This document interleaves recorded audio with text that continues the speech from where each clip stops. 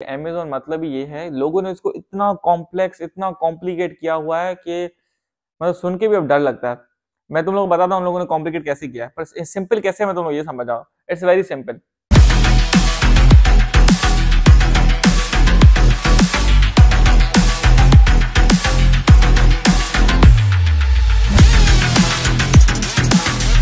आज हम बात करेंगे is we is a scam और नो क्या है वी ए वर्चुअल असिस्टेंट ये नाम ही बकवास है, ठीक है? मैं तुम लोग समझाता हूँ कि बी एक होना चाहिए, नहीं होना चाहिए, ठीक है?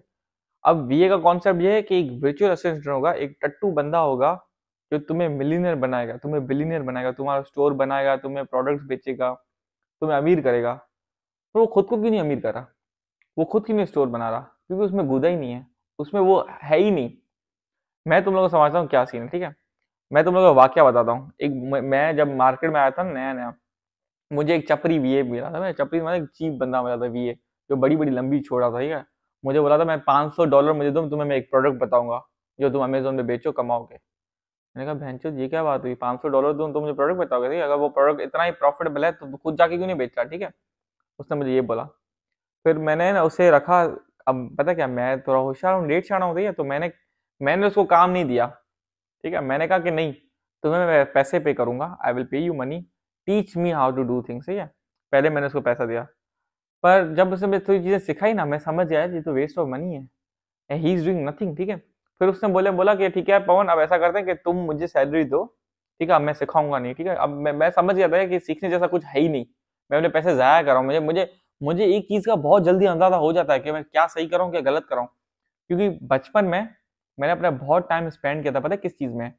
To differentiate the right and wrong as a person अगर तुम्हें ज़िंदगी में अपने लिए बहुत अच्छी अच्छी चीज़ें चाहिए सो तुम्हें अपने लिए टाइम निकालना पड़ेगा। You need to dedicate time for yourself और उसमें तुम्हें ऐसा टाइम निकालना पड़ेगा कि you should know the difference between right and wrong एक सही गलत का जो फ़र्क होता है ना, जिस इंसान को सही गलत की परख है, जिस इंसान को पता है क्या यही सही है, ये गलत है, हम बड़े बुज़ुर्गों की क्यों इज़्ज़त करते हैं? बिकॉज़ उनका एक्सपीरियंस उनका अनुभव बहुत ज़्यादा होता है, उन्हें सही गलत का अंदाज़ा होता है। तो you as a person should know that what is right and what is wrong तो जब मैं छोटा होता था, मैं बहुत ही अपना दिमाग लगाता था एक चीज़ के पीछे। अब एट द मोमेंट जो भी चीज़ें होती थी, ठीक है हाँ भाई, ये हुआ ये हुआ ये हुआ, ठीक है ये हुआ साइड हो गया, ठीक है। लेकिन रात को मैं सोता था, मैं दो, दस दस घंटे में डेडिकेट करता था कि जो हुआ, ये सही हुआ, गलत हुआ इज़ इट राइट और रॉन्ग हो तो होने वाली चीज़ तो हो जाती है, पर मैं हमेशा सोचता हूँ कि सही और गलत क्या है। और I am glad I am thankful कि उस वजह से आज मैं इतना, मैं सही, गलत में फैसला कर पाता हूँ, ठीक है। तो अब वो वीए था, ठीक है। अब मैंने मुझे वो मैंने उसको एक दो एक दो महीने सैलरी दी थी कि वो काम करेगा मेरा वीए बन के और और मैं मैं बेचूँगा ठीक है? मतलब वो बेचेगा मेरे लिए प्रोडक्ट सही है? वो मेरा स्टोर चलाएगा। अब इसमें प्रोडक्ट भी मैं लाया सही है? सब कुछ प्रोडक्ट मैं लाया ब्रांड में लाया सारी मेहनत मैं करा था क्योंकि मुझे पता था वो मुझे अमीर नहीं करेगा वो मुझे पता था टट्टू बनना ठीक है? अब मुझे पता नहीं एट द एंड जब मैं प्रोडक्ट लॉन्च करने शुरू हुआ तो कह रहा था पवन भाई आ, मैं मैं तुमसे थर्टी परसेंट प्रॉफिट शेयर लूँगा मैंने कहा भाई किस बात का profit share लूँगे?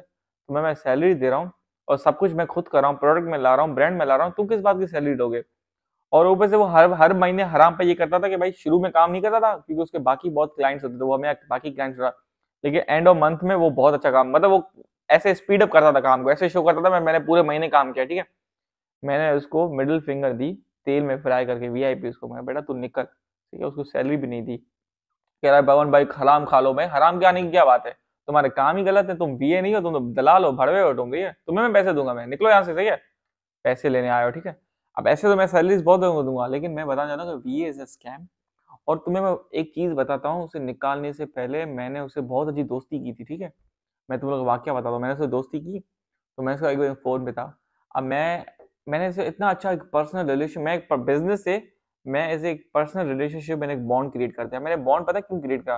Because I know that ये एक बिजनेसमैन नहीं है, ये एक ये एक वो है टट्टू है, ठीक है, जिसके अंदर इन्फॉर्मेशन बहुत है। इसने बहुत सारी इन्फॉर्मेशन प्रोसेस कर लिए अब मैं उस वक्त में इन्फॉर्मेशन का मारा था, ठीक है, मुझे इन्फॉर्मेशन नॉलेज चाहिए थी, मुझे किसी न किसी से इन्फॉर्मेशन चूस नहीं थी तो मैंने इसे दोस्ती कर दी, अच्छी खासी, क्योंकि मैं पता था as a business professional he would never help me तो मैंने वो रिलेशनशिप से क्रिएट किया।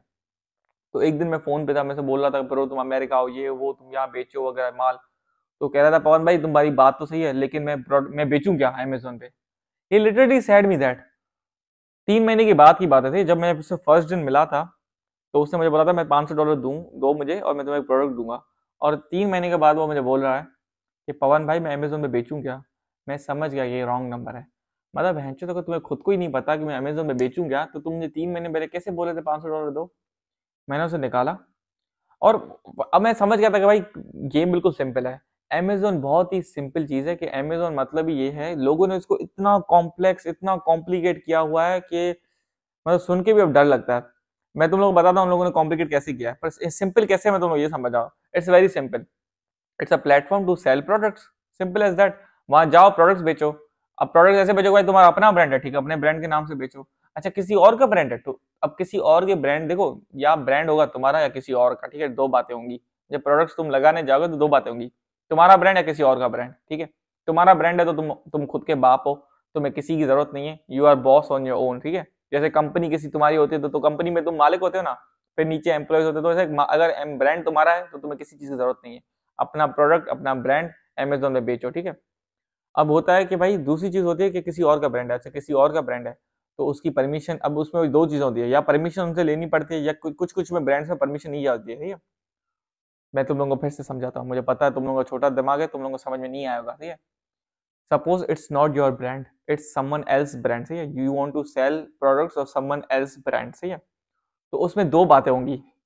या तुम्हें उन ब्रांड से परमिशन लेके उनके प्रोडक्ट्स अमेजोन पे लिस्ट करने पड़ेंगे, या दूसरी बात होगी, अगर उनसे परमिशन कुछ कुछ ब्रांड्स में तुम्हें परमिशन नहीं चाहिए होगी, वो लगा के तुम्हें बेचना है।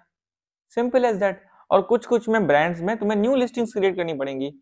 तो इसमें कॉम्प्लिकेटेड की क्या बात है? अब लोगों ने मतलब ऐसा क्या है मीटू हो गया और एफ़ बी एम और पता नहीं कौन सी, कौन सा, वो आर्बिट्राज भाई गेटेड अनगेटेड क्या गेटेड अनगेटेड क्या मतलब है? क्या प्रोडक्ट गेटेड है अनगेटेड है? एक बंदा था, बुढ़ा था, सही है? जॉब करता है, सारी ज़िंदगी उसने जॉब किया है? वो वो बस एक इन्फोप्रेन्योर है, वो नॉलेज बहुत लेता है। मुझे बोला था, पवन भाई गेटेड है अनगेटेड मैंने कहा, भाई, कौन सा गेटेड अनगेटेड क्या बोल रहे हो? कह रहा है गेटेड मतलब इजी मिलता है अनगेटेड मतलब मुश्किल मैं तुम्हारी बात मुझे समझ नहीं आ रही, सब दफ़ा हो जाती है? भाई देखो, एक बात सुनो। गेटेड अनगेटेड और एक बंदा ने आर्बिट्राज भाई आर्बिट्राज इसका मतलब तो छोड़ो, मुझे तो स्पेलिंग ही नहीं आ रही। मतलब तो दूर की बात है। पहले तो मुझे बताओ आर्बिट्राज की स्पेलिंग क्या है? And when I get to know the spelling फिर मुझे उसकी मतलब नहीं समझ में आई कि अच्छा भाई आर्बिट्राज की मतलब है कि यहाँ से लेके वहाँ बेचना। तो ये सारे फजूल के टर्म्स हैं। I don't give a shit about it मैं प्रोडक्ट्स दूसरों के बेचता हूँ। परमिशन लेके इज़्ज़त से। किसी की लिस्टिंग ऑलरेडी क्रिएट होती है, किसी की नहीं होती तो बना देता हूँ। सिंपल मोहब्बत वाला काम है। ना गेटेड अनगेटेड से मेरा कोई लेना देना, ना मी टू से मेरा लेना देना कोई, और ना ही ये किसी आर्बिट्राज से लेना देना। तो तुम लोग प्लीज़ ये कंफ्यूज ना हो, ये आर्बिट्राज ये बड़े बड़े नाम सुन के। अपने लिए चीज़ें, अपने फैसले खुद लो ई कॉमर्स में। सोचो तुम्हें क्या बेचना है, और छोटे से कम प्रोडक्ट से शुरू करो। ज़्यादा से मत करो हमेशा twenty unit thirty unit forty unit से करो। भले आउट ऑफ़ स्टॉक हो जाओ। फिर से री फिर से रीस्टॉक कर देना।